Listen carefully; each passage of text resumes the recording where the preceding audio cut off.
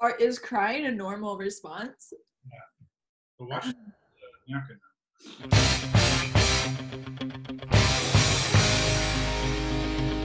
Hi, welcome to my channel where we talk about all things Plato, all things ancient philosophy. Today I have one of my great colleagues um, on the show.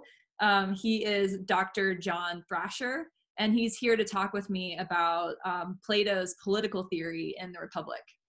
Now, the format for today's show is um, going to involve Dr. Thrasher and myself eating some very hot hot sauces. very hot hot sauces. Um, Dr. Thrasher um, kind of went out of his way to create a culinary de- delight by creating some really nice wings for his hot sauces. I am enjoying some chicken nuggets with my sauces. So before we get started, I do I have three questions. Mhm. First of all, oh, I was going to ask if we were putting sauce on as we go, but we already have them all sauced. Are we taking bites simultaneously? I think that's probably the best way to do it. Yeah. Am I going to die? No. My first one is Gringo Bandito, which what I had in my in my pantry and is my favorite hot sauce. My first is just Frank's normal hot sauce. So I know that you've engaged a lot with Karl Popper's um, critique of Plato.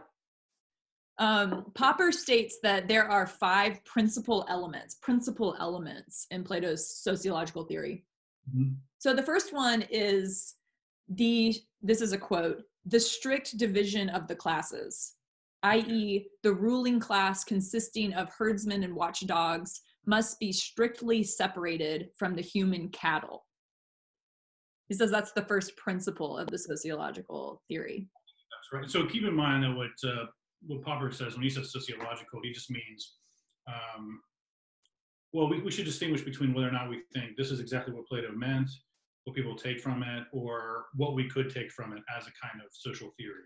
And so I think Popper, a lot of people have criticized him for his interpretation. I think perhaps rightly, it's very kind of straightforward reading of Plato. But I think a lot of people have read it this way uh, in, in the past, and, and specifically the kinds of totalitarian thinkers that he's concerned with. So in that case, yeah, I think the strict division of the classes is the absolute, like, essential element um, of the Republic on that reading. Uh, there has to be clear. I mean, that's in some sense what justice is, is a hierarchy and everything in its right place. And so, Yeah, I think that's right. So When he says that justice is each of the classes or each of the parts of the soul, right, doing their own work. Well, the other part of that that I should mention is, and I think the language that he uses is the key el- el- element here about herd and cattle, because of course Plato uses that that that imagery a lot, um, but also I think the key point is that what Popper wants to say, and I think this is right, is that there's no real concern for the majority of society. That this is that's not the purpose of running the society. So I do think that that is a key element of Platonic thought, if we take it kind of on its face value, which is that the society is not run for the benefit of the people in it exactly. Um, it's just a well-formed society. People may or may not benefit from living in it in terms of their own personal lives or whatever, happiness or something like that. The second of the principal elements is this the identification of the fate of the state with that of the ruling class, the exclusive interest in this class and in its unity, and subservient to this unity, the rigid rules for breeding and educating this class, and the strict supervision and collectivization of the interests of its members. Yeah. I mean, I think that's pretty clear. Like, I mean, the focus on breeding um, and of the of the degeneration that occurs uh, in the good society because of the lack of attention to the breeding rules and those kinds of things. I think that has to be a central element of his program. Central in the sense that Plato's theory or his argument won't go through without that element. Well, I mean, look, you know, maybe we'll get into this later. Like, there's a lot of questions about what Plato was doing and how we should read Plato. But I'm saying if you just read it on its face value, like this is a uh, um, an actual kind of plan for an ideal society. If that's how we're reading it, then yes, that's what it would be. I think. Okay, should we have another wing? Sure. So, do you want to start with the the slow burn then? Yeah, No. I uh slow burn is my second one. I did the order exactly as you showed me. So Okay. there's proof, that it's on my thing, on my nugget. Mm. So I really like that. It's actually more mild than my Gringo Bandito. Yeah, it's a pretty mild sauce. Yeah. It's really tasty. I think that's very good. Mhm. The next three of the principal elements, Popper says, are actually derived from the first two, so they kind of belong. These these other three elements belong in a class of their own. So I'll just go through all three of those, and you can comment on them together. The first is that the ruling class has a monopoly of things like military virtues and training, and the right to carry arms and to receive education of any kind.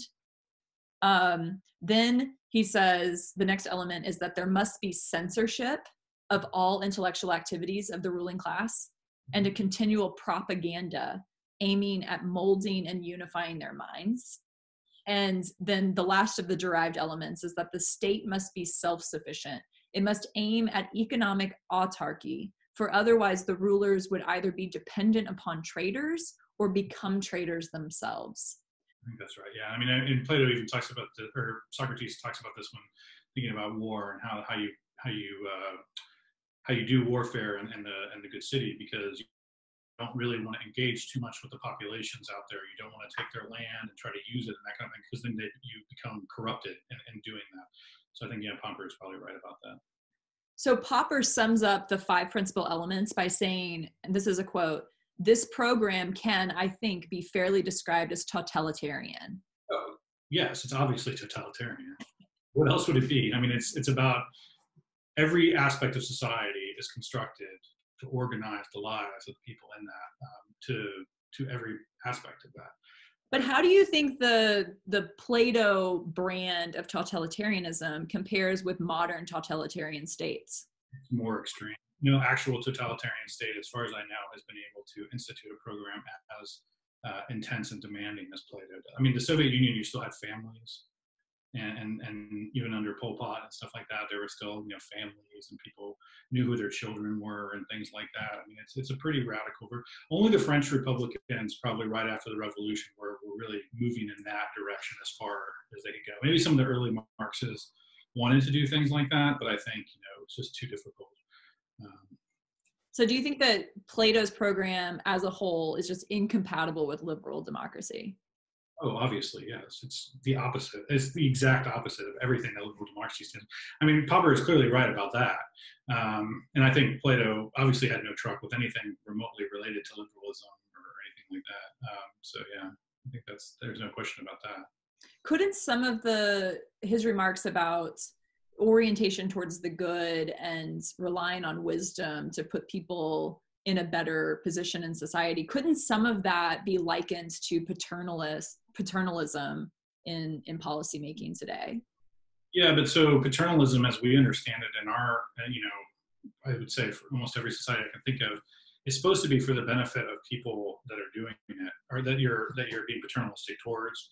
And um, you know they don't understand their own benefit but this is supposed to be for their benefit it's not clear to me that for the vast majority, except for the smallest minority, maybe only just the philosopher, is it is this organization of society for the benefit of anyone. It's it's just for the benefit. Maybe it's for the benefit of the good, but the good and its relationship to human beings may or may not have any kind of overlap in terms of like how well your life goes or anything like that. Yeah. So the next one I have is the Siamese dream, which is also uh, this this slow slow burn yeah, this is green. Color my wall. Yeah. It's a green, green kind of chili from like kind of yeah. Well, anyways, taste it. See what you think. That one's super flavorful. Mm-hmm. I feel like the the spice is like attacking me in a different way. Mm-hmm. Yeah, that one's really good. Is that normal? Like, do different peppers attack you in different ways? Mm-hmm. Plato gives voice to the theory of justice as social contract in mm-hmm. books one and books two, or books one and two of the Republic. Mm-hmm. Um, both in Thrasymachus's great speech about people choosing to be just merely as a way of avoiding punishment for wrongdoing, and mm-hmm. also in Glaucon's articulation of the folk view that justice is a second best option that we all agree to as a way of protecting ourselves from the wrongdoing of others. The argument of the Republic is an extended rejection of the Thrasymachus and folk theory of justice as social contract. You have argued in print that Plato rejects the idea because he's opposed to the way that such a theory represents justice as an instrumental good. Yes. Um, so why why is that such a big problem for Plato? Clearly, throughout the Republic, the argument is meant to be against that view, right? To try to, and so maybe maybe Socrates does end up there in some kind of complicated way, depending on how we interpret it. But certainly, that the straightforward instrumentalism that Glaucon is is um, you know putting forward in in book two, especially, is, is certainly that. Um, justice is not supposed to be a means towards some other kind of end. It seems like it's supposed to be, you know, a value in itself or, or um, something along those lines. Although there are there are some questions, there are some points where Socrates does say things that it's hard to kind of square with that. But that seems to be the way. Right. I mean, the the way that Glaucon sets up the challenge in book two is to say, Socrates, everybody already agrees that justice is instrumentally value valuable, but you have claimed that justice is both instrumentally valuable and valued for its own sake. So what we want you to do is make the case that it's valued for its own sake. So the argument of the Republic is meant to be an answer to that challenge, but I don't think it's meant to ever deny the instrumental value. Yeah, so I guess what I would admit is that it's purely instrumentally valued. So I don't know. I mean, I think the I think the straightforward, I think the most mainstream interpretation of, of what's going on in the Republic does say that no, you do get some kind of value out of out of justice because of the harmony of the soul or something like that. I, and you know, there's a lot of different versions of this, but uh, but yeah. My uncle Phil's hot sauce that he makes and sends to me. Why haven't you hooked me up with like a one of those big containers? I just got this in the mail a couple days ago. you and I have a lot of disagreements mm-hmm. about how to interpret Plato. One of the biggest disagreements between us is about how to read the Republic as a whole. I think that it should be read as a work in moral psychology, and you think that it should be read as a work in political theory.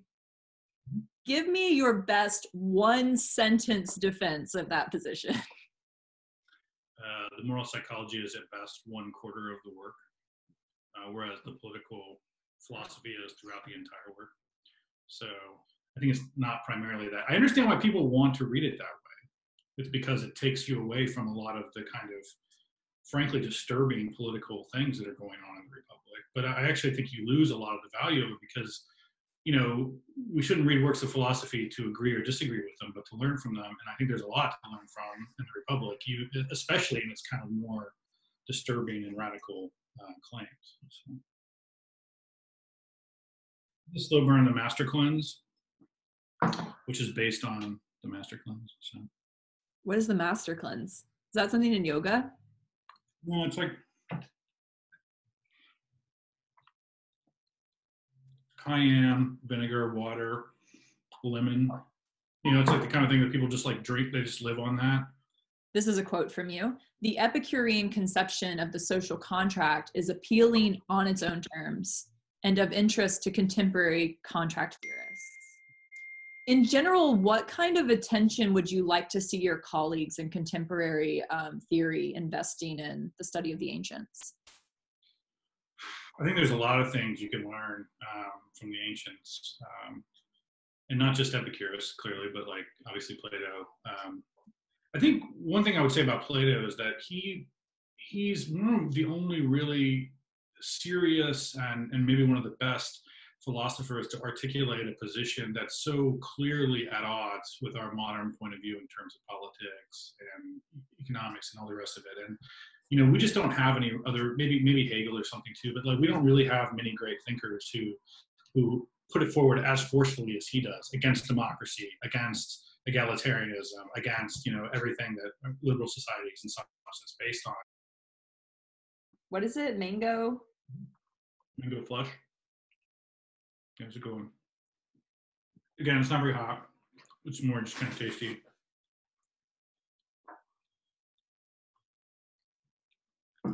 You have a nearly three year old son. Uh-huh. Can you see that? Yeah, that's him. This is you sharing your love of books with him. He's reading some kind of cat book, not sure. Now that you are actually in the business of basically doing the work of the philosopher rulers in terms of providing an education for someone Um, what do you think about Plato's theory of education? How are you feeling on censorship?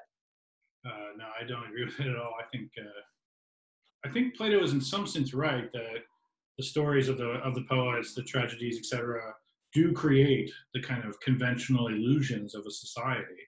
And so part of the the project of education is both.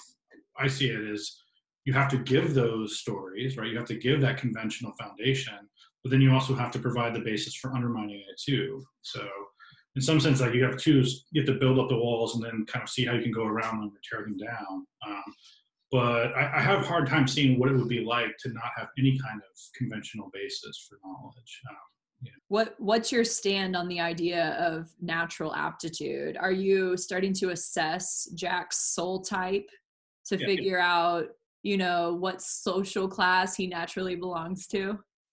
I don't know about social class. I mean, I think we basically have one class. I mean, people just there's different gradations within it, but uh, there's not strict status divisions in our society. But I would say that you know, obviously people have different kinds of personalities, different kinds of aptitudes, different kinds of intelligence. And, um, so within that, there's probably a range that you can get through education or training or what habituation. But you know, some people are just attracted to different kinds of lives than other people. I think. Um, the Melinda's. This has um, four chili signs mm-hmm. out of five. That's hotter than the other ones, mm-hmm. for sure.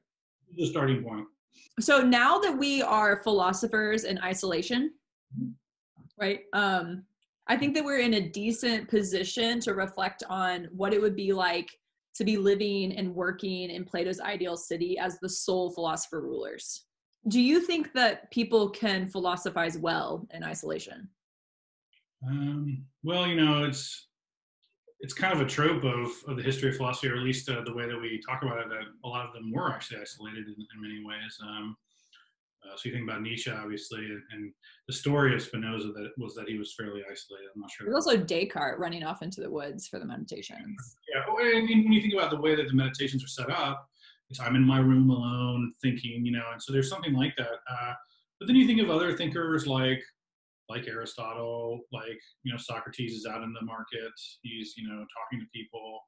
Um, I think it's pretty hard to to do it uh, without having a lot of knowledge about the world, about people. I mean, this would be something like Hume's position, right? That you have to you have to know about human nature. You have to know a lot about people or history or whatever else to be able to kind of make um, make generalizations or whatever. And so, I think it does actually limit you in a lot of ways because you kind of get stuck in your own little prison of your of your head in some ways.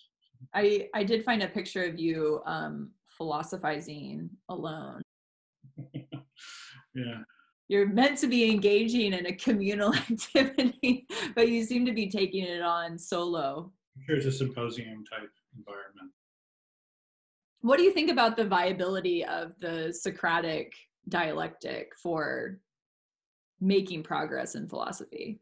I don't think you can actually make progress with it at all. Um, but I think you can. So there's a, you know, I think as a negative tool, the, the negative dialectic, it can be really useful though, because in terms of breaking down people's conventional viewpoints, trying to to show that they don't really know what they think they know. So what what Socrates actually ends up doing in most of the you know earlier dialogues, at least, I think that's a pretty it has a, it's pretty powerful in that respect. I think trying to get at actual knowledge is pretty difficult because again you know, this is a view, later view, it's like you need to have something in to get something out. And if you just start with what you have, it's pretty difficult to get there. Okay, so this next one is the C4. This is carrots and ghost pepper. So this is a ghost pepper. So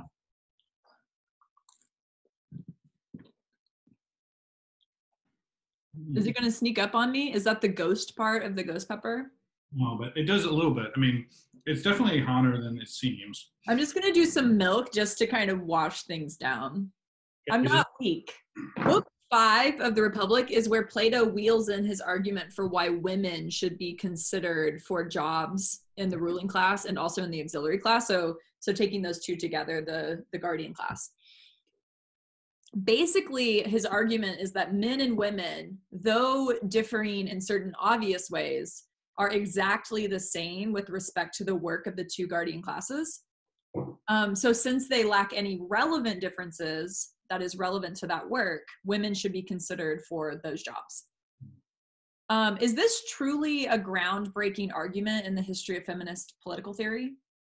Depends on how we interpret the Republic, if it's meant to be read ironically or whatever. But I think this goes back to my previous point about Aristophanes. So Aristophanes had written a play called the Ecclesiazusae, um, one of a couple of plays where the, the hilarious element is that women take over and try to run things. Okay, so especially in the Ecclesiastes, they take over and they want to have an egalitarian society where men and women are equal, but also that property, there's communism basically. So it's worth noting that the first proposition that he puts forward in the book five for what's going on is communism of property. And then the second is equality of, well, equality of men and women is involved. Then there's equality of wives and children afterwards, but, or children. But yeah, so these are two aspects right out of the Aristophanes play. And so Aristophanes does it for laughs because it's obviously ridiculous. And Socrates is saying, well, no, maybe this is a plausible thing. And do this. It's not just plausible, it's required because if you just kind of follow through the line of argument that he's trying to make, it's kind of required, right? I mean, that's that's basically what he's saying. The garlic reaper sauce.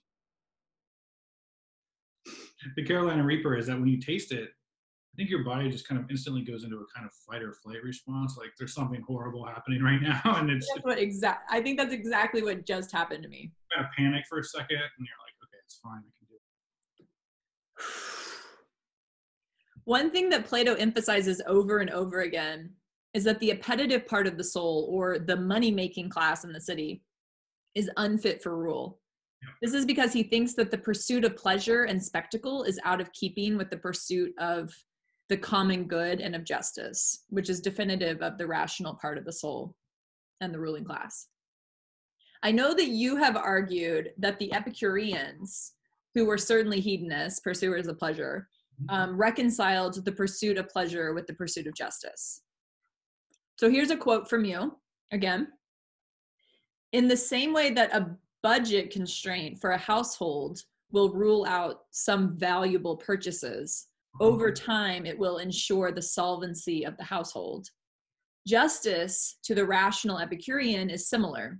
It restricts individual choices in the short run, but increases the reliability of achieving pleasure in the long run.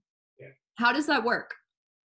Uh, well, I mean, so it depends on how we think about justice, but um, but even if you just think of it in the Platonic sense as some kind of harmony uh, between, if you want to use your, your psychological version, harmony between the kind of different aspects of the soul, if you let one of them get out of hand, it's going to lead you into trouble, basically, right? So the thumotic part will get you into fights or, you know, or whatever, going around dueling with people and that kind of thing. And and uh, the other parts might lead you to overconsume in various aspects or if you if you kind of privilege the philosophical part too much you know you'll just sit sit around and think instead of you know working on these other things so anyway so i think partly what maybe the epicureans are getting at is just that look we need this just justice is really important for us uh, in the same way that like knowing about um, nature is important to us. Uh, so we need to know what's poisonous, what's healthy, how much you can eat of certain things versus others you know you need to know these things if you want to live well but justice itself has no value besides uh, helping you live well in this way. And so so i think this is one of the real puzzles that you get in the republic is that because of the way it's set up in book two and it, it it seems like Socrates is trying to search for something that just doesn't on its face seem like it needs to be found which is you know a value for justice over and above what it does for us. Yeah so basically the point is that we need justice because it helps us just like a budget helps you right? And if you didn't need it you wouldn't you wouldn't want it. It wouldn't have any value for you. Okay so this one is by far the hottest. This is the bomb and this is the one that usually gives people problems and, and the other things so so good luck. I'm still burning from the last one but Yep. Okay. It really doesn't taste good. Um, oh, what the? No. it's hot, and it, you're right. It, does, it, has this weird. Um, I don't want to swallow it. The chipotle puree has this kind of smokiness to it. it's just habanero though, and you can taste the habanero because that habanero kind of like gets you right up front, where some of these other ones they, they take a second. Yeah, it's really hot. I'm I think feeling that was uh, it made it worse. the wa- the water. What is it gonna do to me? it just spreads it around. I can't think. It's very hot. I can't think. I was gonna ask you a question and I forgot. no, no. Okay, I need to go brush it off with my tongue. really really hot. Try the milk. I'm drinking the milk. It's not helping. It's in my head now. It's like really I'm feeling in my my head. Don't touch your face. I'm getting a new napkin. I mean, that's to touch your face anyway, so you should always just imagine that you have the bomb on your fingers. I don't like it. it hurts. It hurts. I don't know what's going on. This is a lesson in stoicism, I think, at this point. When will it go away? In, in Republic 4, Socrates says that courage is the ability to preserve one's belief about true belief about what should be feared. This should be feared. Or is crying a normal response? Yeah. But watch the uh, napkin.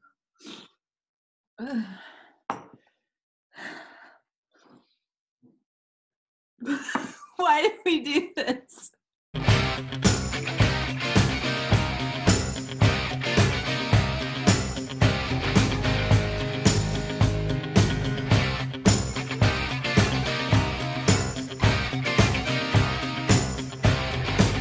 I've heard you say things like "I hate Plato" or "I hate the Republic." What what makes you so fiery? Don't hate Plato.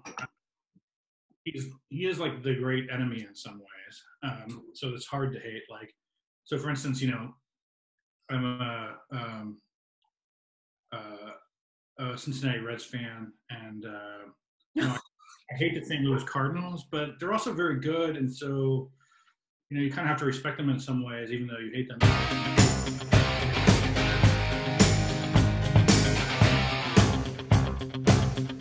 Was it Knight Whitehead who said, um, you know, all philosophy is footnotes to Plato. I mean, there is definitely truth to that, and especially in the Republic, and especially like the political aspects of it. Everyone is responding to Plato in some way or another.